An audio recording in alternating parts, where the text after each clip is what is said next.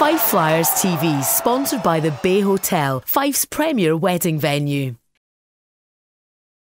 Well, I'll say the positives first, and we can get into it. I think that our first period was our best period of the night. I thought we looked a lot more engaged tonight, a lot more physical, um, and we were skating with them. I thought it was uh, it was a very good period. After that, we, we saw it significant, significantly dip um, again, and I think that comes down to guys needing to be in better shape and mental fatigue. You start making mistakes. I thought our kill was exceptional tonight. Um, we found ourselves against a very fast uh, skating team, um, and they drew a lot of penalties against us. Um, but as I mentioned, our kill was was very good tonight. Uh, the one power play goal they got, um, uh, we were certainly out there, caught out there a little too long.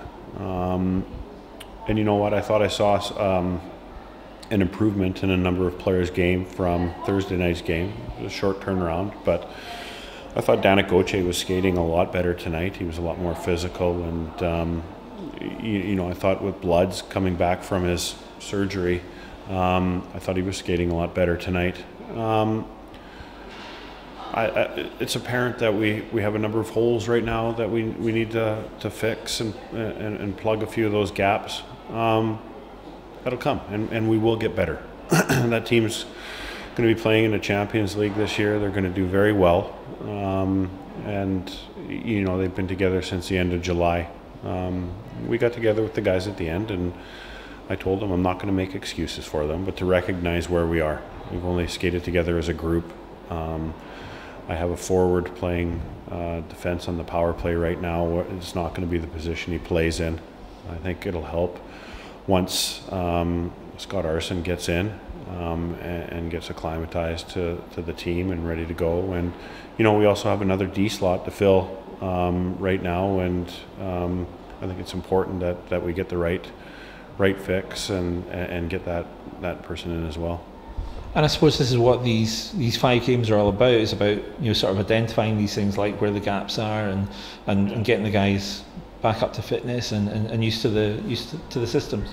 Yeah, absolutely. And I think that even as coaches, I think we can possibly be guilty at, at times of thinking that if you want to call it the magic is going to pick up right where we left off.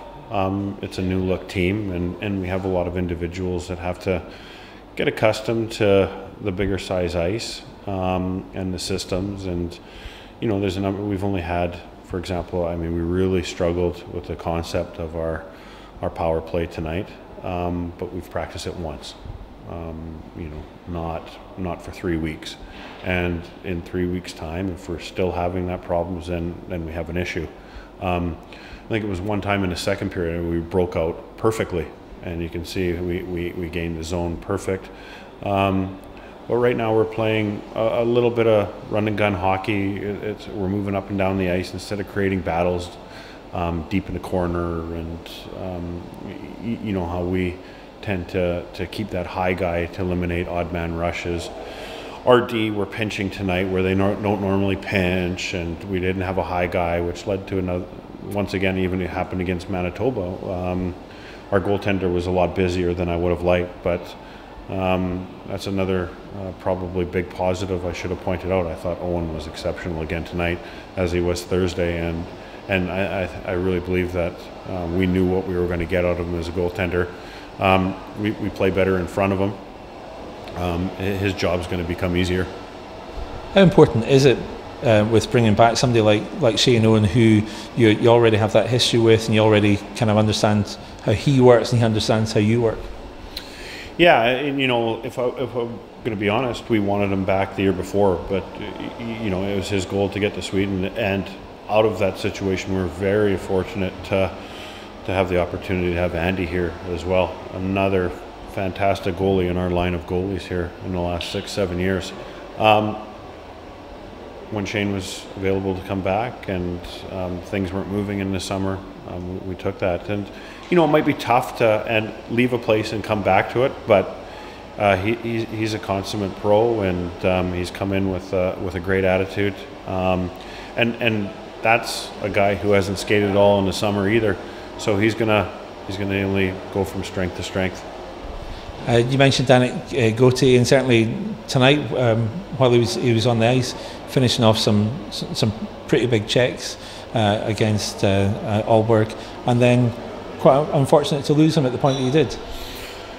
Yeah, and you know what? I didn't think that it was um, that severe.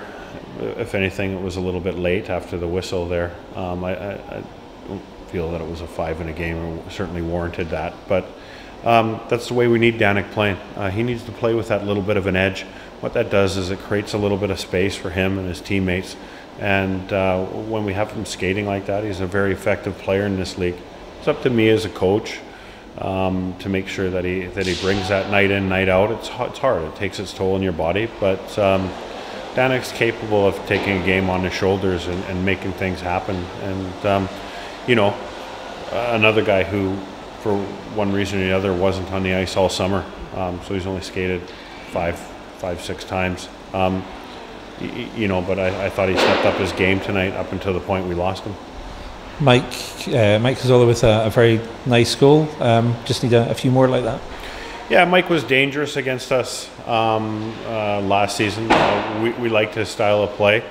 Um, and, and, once again, he has to get accustomed to, you know, our systems and whatnot and, and get used to his line mates. But I think we'll see a lot more uh, uh, of them from him. And we really have a, a, talented group of forwards that we're working with.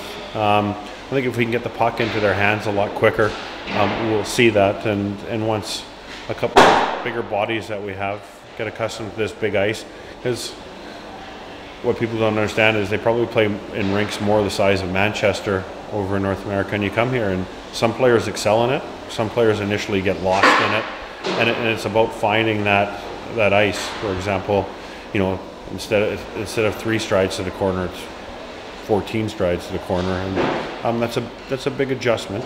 Um, but as I said, we have three weeks to make that that uh, or well two weeks now to make that those adjustments, and um, you know what, I, you know we have uh, some concerns that guys aren't in yet and stuff like that, but we're addressing it, and uh, any adjustments we have to make, we'll make. Uh, and just finally, for, for anybody wondering uh, whether whether or not to come down tomorrow night, what what would you expect from the from the game tomorrow? Yeah, much the same. And, and as I said, I thought, in, certainly in the first period, we stepped up our game. We're going to continue to step up our game. Those guys aren't happy about losing two games in the trot, and it's not going to be something that we're going to want to make a habit of. I thought that the crowd, and, and I've said this before, it's an intelligent crowd. They know their hockey. Um, you, you, know, they were a little quiet because we didn't give them enough to, to cheer about tonight, but we're going to continue to get better, and their support is, is, greatly appreciated. It's a nice way to welcome these guys to town and, and show that uh, they're going to be behind them uh, for the entire season. Chad, thanks very much. Thank you. The Bay Hotel, where your dream wedding becomes reality. Visit us at thebayhotel.net.